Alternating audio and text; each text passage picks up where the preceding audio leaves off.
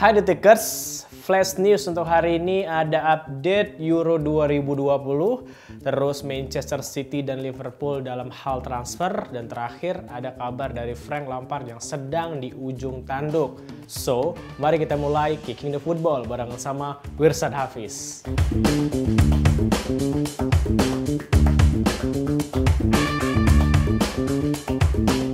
Frank Lampard sepertinya sudah mulai mau kehabisan waktu untuk menjaga posisinya tetap aman di Chelsea. Setelah kemarin KO ngelawan Leicester City. Bos-bos Chelsea itu mulai memikirkan siapa pengganti dari Frank Lampard di posisi pelatih Chelsea.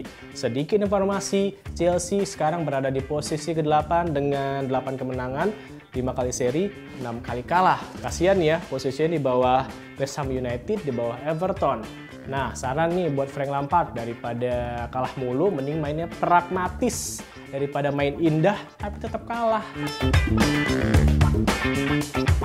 Liverpool dan juga Manchester City sedang bertarung untuk mendapatkan tanda tangan pemain Wolves yaitu Adama Traore. Kan tetapi harganya dianggap masih cukup mahal. Setelah melihat penampilan yang tidak segemilang musim lalu, bayangin dari 20 pertandingan dia baru mencetak satu gol dan itu hanya di FA. Jadi harusnya harganya bisa turun. Karena kalau sampai nggak turun, penampilannya juga turun, nanti nggak bisa kejual, harganya turun, tapi peminatnya udah nggak ada.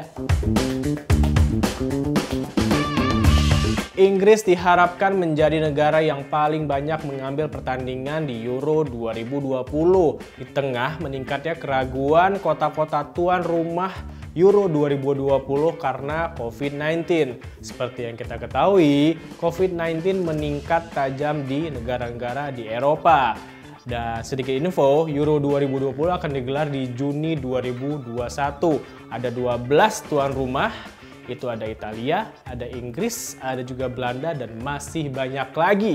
Yuk kita berdoa bareng-bareng supaya pegelaran sepak bola di tahun ini bisa beradaptasi dengan kondisi yang seperti ini.